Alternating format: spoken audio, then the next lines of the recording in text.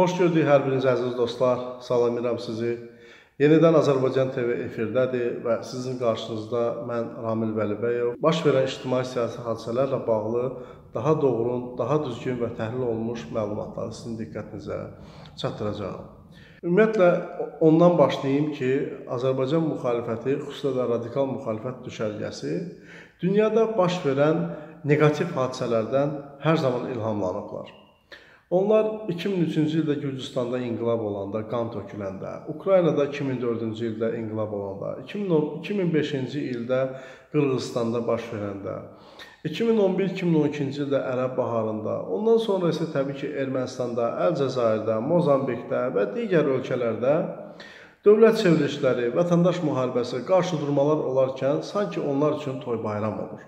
Və çıxırlar canlı efirlərə ki, buyurun baxın, Mozambikdə hansısa icra başçısını və yaxud da bələdiyyə sədrini özünün kreslosundan yendiriblər və başqasını gətiriblər. Bunu da demokratiya adı altında xalqımızın ictimai rəyinə sırmağa cəhd göstərirlər. Elə ötən günlərdə də Boliviyada buna oxşar bir hadisə baş verdi və Boliviyada Yeva e, Morales adlı bir prezidentin istefa verməsini bax gətirib Azərbaycan reallığına interpretasiya etməyə çalışdılar. Əvvəla onu qeyd edim ki, e, istər Əli Kərimlinin, istər Sevinc Osman qızının, istər Gültəkin Hacıbəylinin, istər Qənimət Zahidin və digərlərinin tez-tez Sudanda, Efiopiyada, Boliviyada və digər ərazilərdə, Gürcüstanda, Ukraynada baş verən hadisələri demokratikləşmə kimi qələmə verməyi Nəinki siyasi səhvdir, hətta onların siyasi naşılığını göstərməklə yanaşı savadsızlığını ortaya qoyur. Çünki adları çəkilən ölkələrlə Azərbaycanın hazırki reallığını müqayisə etmək və üstünlüyü həmən ölkələrə vermək ən azından vətəndaş olaraq baş verən prosesləri, inkişafı görməməkdir. Hələ mən digər məsələləri diqqətə çatdırmıram. Ona görə də düşündüm ki, istər Əli Kərimlinin, istərsə də düşərgənin digər savadsız nümayəndələrinin bu məsələ ilə bağlı fikirlərini ifşa etmək üçün bəzi məsələləri sizin diqqətinizə çatdırım. Başlayaq birincisi Sudandan. Əli Kərimli ötən gün canlı yayında deyir ki, Sudan bir demokratikləşmə yolu keçib. Əvvəla onu qeyd edeyim ki, Sudan Afrikanın ən böyük dövlətlərindən biridir. Sudanın 2,5 milyon kvadrat kilometr ərazisi var. Təxminən 38 milyon nəfər də əhalisi var. Bu demokratikləşmə deyilən proses nəticəsində Sudan vahid dövlət olaraq parçalanıb və bu gün Şimali Sudan və Cənubi Sudan deyilən dövlətlər vardır. Sudanda baş verən həmin o dırnaqarası demokratikləşmə prosesləri nəticəsində baş verilmiş vətəndaş müharibəsindən, eləcə də həmin müharibənin nəticəsi olaraq yaranmış xəstəliklərdən 2 milyon insan ölüb. 4 milyon insan isə qaçqın olub. Həmin o 4 milyon qaçqının bu günləri Avropa küçələrində necə yaşadığını siz məndən də yaxşı bilirsiniz. Sudan ümumiyyətlə Afrikanın, eləcə də dünyanın karbohidrogen ehtiyatlarına görə zəngin ölkələrindən biri olsa da, çox kasıb bir ölkədir. Təxminən 50%lıq yoxsulluq mövcuddur, 30%lıq işsizlik və hətta 15-20%lıq inflyasiya mövcuddur. 2007-2011-ci illərdə bu ölkədə iqtisadi artım 8-10% olub. Yəni Sudanın tarixində ən yüksək artım məhz həmin illərdə olub. Və təsadüf də deyil ki, həmin o inkişaf və artım imperialist dairələrin maraqlarına cavab verməyən, xidmət etməyən iqtidarın devrilməsi dövründə baş verib. Və 2011-2015-ci illərdən sonra Sudanda demək olar ki, inkişaf adlı bir tendensiya baş vermir. Əksinə, yoxsulluq daha da artıb, işsizlik daha da artıb, inflyasiya getdikcə güclənib, hətta miqrasiya daha da sürətlənib. Bu gün Sudanın təxminən 11-12 milyardlıq dövlət büdcəsi var. Lakin bu dövlətin hardasa 30 milyard dollarlıq dövlət borcu var. Yəni gördüyünüz kimi dövlət büdcəsindən demək olar ki, 3 dəfə artıq bunun dövlət borcu var. Hətta Sudan o dövlətlərdəndir ki, onun əhalisinin 20-30% elektrik enerjisi alır. Yerdə qalan 70-80% isə elektrik enerjisi nədir bilmir. Əziz dostlar, Müxalifət düşərgəsi bu gün Efiopiyanı da demokratikləşmə yolu keçmiş bir dövlət kimi təqdim etməyə çalışır.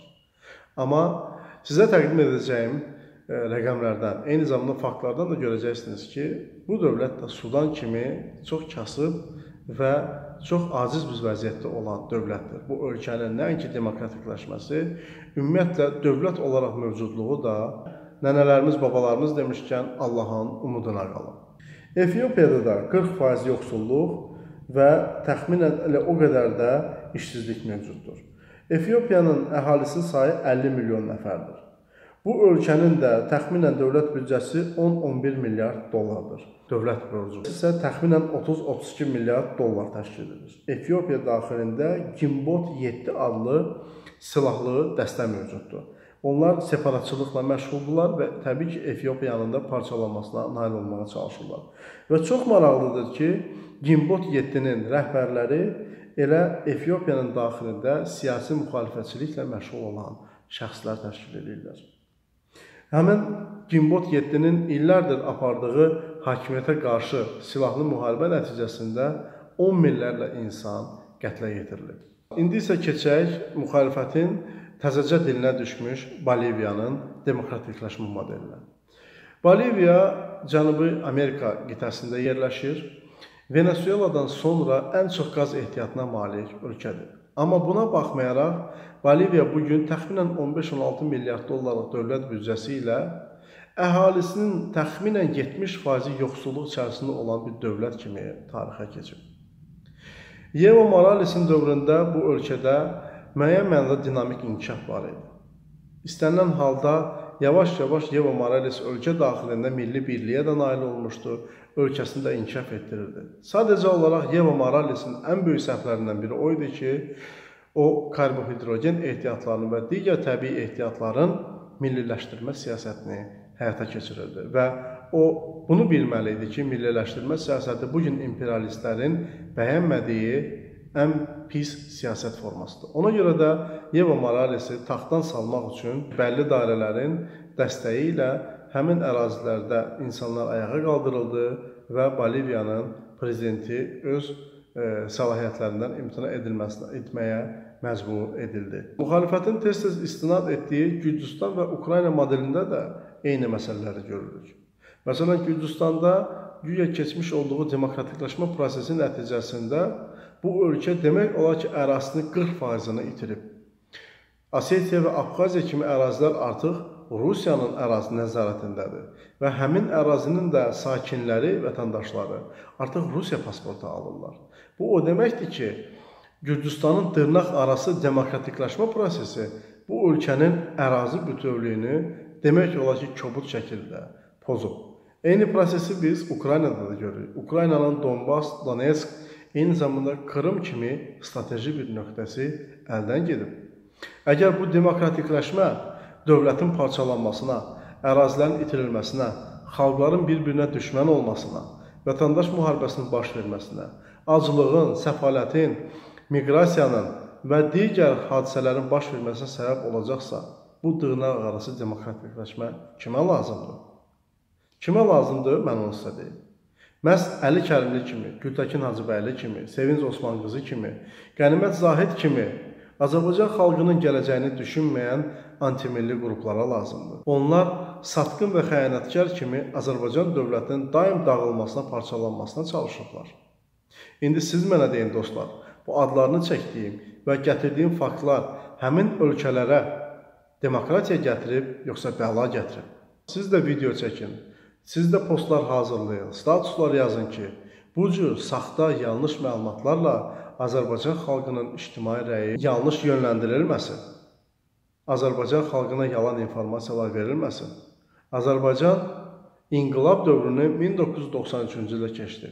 Azərbaycan xalqı ayağa qalxdı və 1992-ci ildə silah zoruna hakimiyyətə gəlmiş AXC Musavat cütlüyünü hakimiyyətdən qovmaqla elə rəngli inqilab etdi və hakimiyyətə Heydər Əliyevi gətirməklə Azərbaycanın demokratikləşmə yoluna düşməsinə səbəb oldu. Məs Azərbaycan xalqının da bundan sonraki arzusu daha da inkişaf etmək, daha da irəliyə getməkdir. Çünki Azərbaycan xalqının bir amalı ondan ibarətdir ki, bizdən sonra gələn gələcək nəsillərə sabit, firavan, sakit və təhlükəsiz Azərbaycanı verməkdir. Sağ olun dostlar, هلا فيش